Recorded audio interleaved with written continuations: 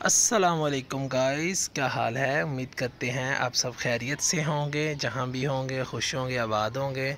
Birds lover blog में आपको खुश आमदीद कहते हैं। गाइस ये आप देख सकते हैं, मौसम कैसा हुआ पड़ा है। मौसम बादल भी आए हुए हैं और साथ में क्या कहते हैं, हल्की हल्की धूप भी लगी हुई है।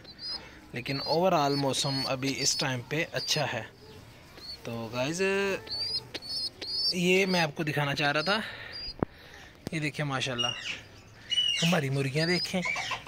और ये इनके लिए आज रोटियाँ भिगोई हुई थी, क्योंकि इनको मुख्तलिफ़ दिनों में मुख्तलिफ़ डाइट देते हैं। हम ये आज रोटियाँ भिगोई हुई थी और ये इन्होंने आज रोटियाँ खाई हैं।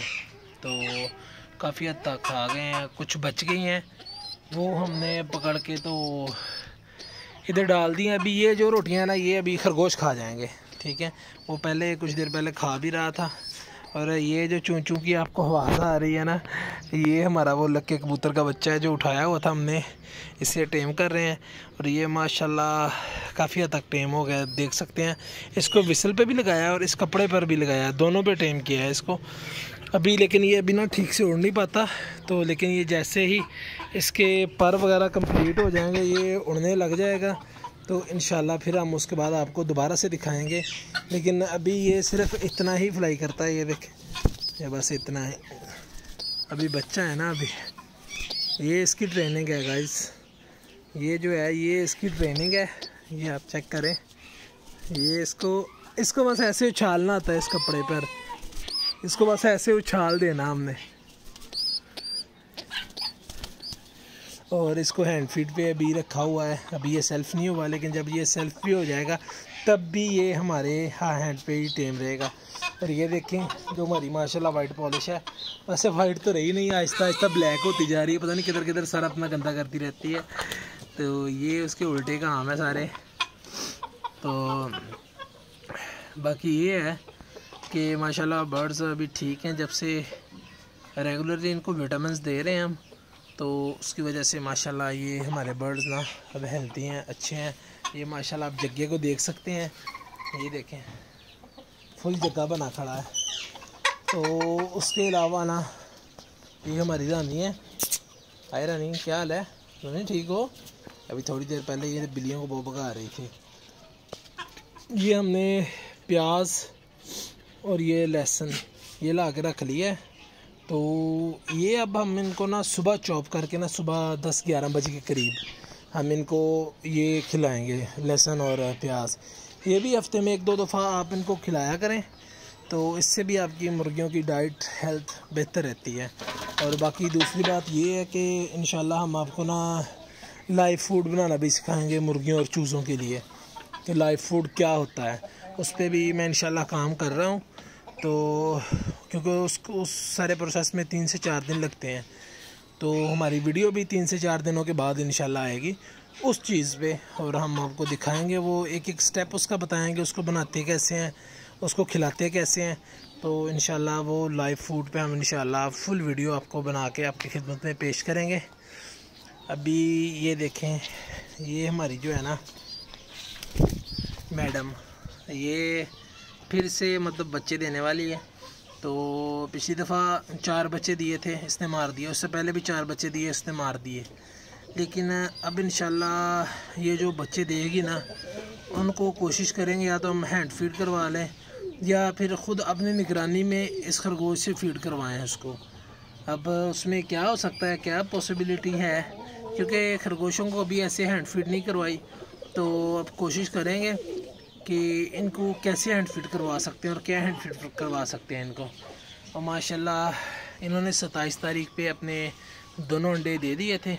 अब इन ऊपर बैठे हुए हैं।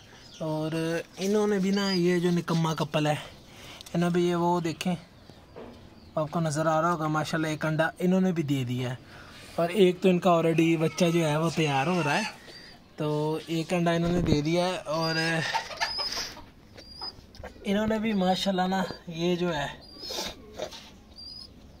इन्होंने भी अंडा दे दिया इस दफ़ा इनके लिए ना मैंने वो रखा हुआ है डब्बा, ताकि ये डब्बे में अंडे दे। और माशाल्लाह इन्होंने उसी डब्बे में अंडा दे दिया एक दे दिया एक इंशाल्लाह दे के ये एक दो दिन में तो ये ऊपर बैठ जाएँगे।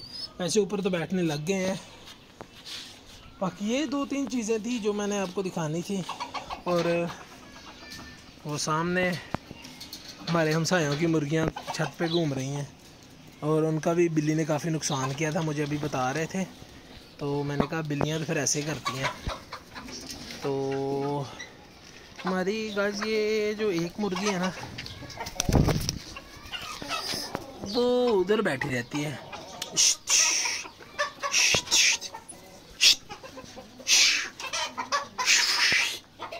उठ जा बेबे ये तो उठ ही नहीं रही यार पता नहीं इनको क्या मसला है। मसला तो कोई नहीं होगा मेरे ख्याल में, गर्मी की वजह से बैठी होगी। वैसे मैं इसको दो तीन दिनों से नोटिस कर रहा हूँ। ये वहाँ पे जाकर चुप करके बैठ जाती है। तो इसे देखते हैं शायद इसने ना पाड़ा मल लिया हो। वो जैसे अंडों पे बैठने के लिए तैयार होती है ना, शायद इसने वो कर लिया हो। तो अगर तो कुड़क हो गई हो ये तो ठीक है शायद नहीं कुड़क तो मुश्किल सी होगी क्योंकि ये इनक्यूबेटर में निकलती हैं मुर्गियाँ। ये कुड़क वगैरह नहीं होती हैं। शायद सौ में से कोई एक आध परसेंट हो के ये कुड़क हो जाए वैसे और ये कुड़क नहीं होती। चले मैं आपको ना अपने बाकी बच्चे दिखाता हूँ। आए मेरे साथ। बाकी बच्चों में ये हमारे ऑस्ट्रेलियन है। ये माशाल्लाह ये है तो पेड़ ही पता नहीं ये इन्होंने क्यों अंडे शंडे नहीं दिए शायद इनके साथ ये कबूतर छोड़ा हुआ है, इस वजह से इन्होंने अभी तक अंडे नहीं दिए और ये हमारे रिंग नेक जो डरते बहुत थे लेकिन अब माशाल्लाह इनका डर ना काफ़ी हद तक ना ख़त्म हो चुका है इनका डर। तो अब ये इतने नहीं डरते जितने पहले डरते थे। बाकी ये वाला जो हमारा बच्चा है, ये मैं आपको इधर बिठा कर दिखाता हूँ। ये देखिए इसको मैंने इधर बिठा दिया तो ये माशाल्लाह बच्चा अभी ना बहुत अच्छे से तैयार होगा। जब ये फुल तैयार हो जाएगा, फिर इन इस पर हम अलग से वीडियोस बना के आपकी खिदमत में वो भी पेश करेंगे और आपको दिखाएँगे कि इनका मज़ा कितना होता है जब ये तैयार हो जाते हैं। तैयार करने में मुश्किल ज़रूर होती है, लेकिन जब तैयार हो जाते हैं ना, तब इनका मज़ा बहुत होता है। बाकी हमारे ये माशाल्लाह चूज़े, ये कुछ बड़े हो गए हैं, कुछ अभी छोटे हैं तो ये भी हो रहे हैं आहिस्ता आहिस्ता बड़े हो रहे हैं। आहिस्ता आहिस्ता ही होंगे बड़े ज़ाहरी बात है, लेकिन माशाल्लाह अभी ना काफ़ी हद तक बेहतर हो चुके हैं। काफ़ी सारे इनमें से मर भी गए हैं मोटेलिटी भी काफ़ी हुई है। लेकिन ओवरऑल चले, जितने भी बच जाएँ कोई बात नहीं। बाकी एक मुर्गी का भी इंतज़ाम कर रहे हैं, एक कुड़क मुर्गी लेके आएँगे सील तो कुछ अंडे मैं जमा कर रहा हूँ तो वो अंडे इंशाल्लाह हम उसके नीचे रख के तो बच्चे निकलवाएँगे। बाकी माशाल्लाह हमारा देख सकते हैं बच्चा। और, बाकी ये वाले हमारे राज जग्गे जो हैं, ये भी आपने देखे ही हुए हैं पहले भी। ये हम आपको फिर दिखा रहे हैं। तो ये भी कुछ देर पहले बड़े अच्छे से टॉकिंग कर रहे थे, लेकिन अब कैमरा सामने आते ही ये ना शर्मीले हो जाते हैं। चले, मैं आपको अपने बाकी बच्चे दिखाता हूँ। ये माशाल्लाह हमारे जो है ना बाकी बच्चे हैं। तो ये भी इस वक्त फुल विसल पे आएँगे। ये माशाल्लाह ऐसे भागते आते हैं। ये चेक करें, माशाल्लाह। ये, अरे ये भी हमारा बच्चा चेक करें। मैंने इनको ना फुटबॉल वाली विसल पे लगाया हुआ है तो ये माशाल्लाह ना, अभी सिरिंज नहीं है मेरे हाथ में, वरना फ़ूड वाली सिरिंज होती तो ये ऐसे उड़ते हुए आना था। ये भी थोड़ा पीछे भाग रहे हैं, क्योंकि सिरिंज हमारे पास नहीं है। बाकी ये हमारा बच्चा जो है, ये जो रेड टेल का जो मैंने अभी आपको पेयर दिखाया ना, ये उनका बच्चा है, ये देखे माशाल्लाह। ये भी ये भी माशाल्लाह, इसका रिस्पॉन्स भी बहुत अच्छा है। तो ये देखिए उसको मैंने बाहर निकाला तो ये भी सारे मेरे पास आ गए।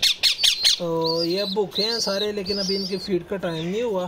तो इन जैसे ही इनकी फ़ीड का टाइम होगा, हम इन इनको फ़ीड करवाएँगे। बाकी इनकी फीडिंग पे मैंने अलग से वीडियोस बनाई हुई हैं। तो अगर आप वो देखना चाहें तो आप वो देख सकते हैं। तो वो अब मैं तो आपको सजेस्ट करूँगा कि आप लाजमी जाके वो वीडियोस देखें, ताकि आपको पता चल सके कि ऐसे बच्चों को कैसे फ़ीड करवाते हैं। तो ये देखें, माशाल्लाह ये ये चेक करें। ये चेक करें। अभी इसको बहुत ज़्यादा भूख लगी हुई है फुल भूखा है। ये भी फुल भूखा है ये। ये भी इस वक्त फुल भूखा है। तो इन हम इसको भी फ़ीड करवाएँगे, लेकिन अभी इनकी फ़ीड में कोई एक आध घंटा है। तो इसलिए हम इनको थोड़ा लेट फ़ीड करवाएँगे। मैंने इसको अंदर बिठा दिया है। इसको भी अंदर बिठाएँगे। और ये जो हमारा शर्मीला बच्चा है ना, ये वाला, इसको भी अंदर ही बिठाएँगे। चलो बेटा, आप सब लोग अंदर बैठो। तो बाकी ये है कि इन हम इनको फ़ीड करवा के तो उन पे अलग से वीडियोस बनाएँगे। तो गाइज़ आपको हमारा आज का ब्लॉग कैसे लगा? उम्मीद करते हैं कि आपको हमारा ब्लॉग पसंद आया होगा। और अगर गाइज़ आपको हमारा ब्लॉग पसंद आया हो तो काइंडली इसे लाइक शेयर और सब्सक्राइब ज़रूर कर दिया करें। और कमेंट्स में हमें अपनी कीमती आरा से ज़रूर आगाह किया करें। बहुत शुक्रिया। अल्लाह हाफिज़।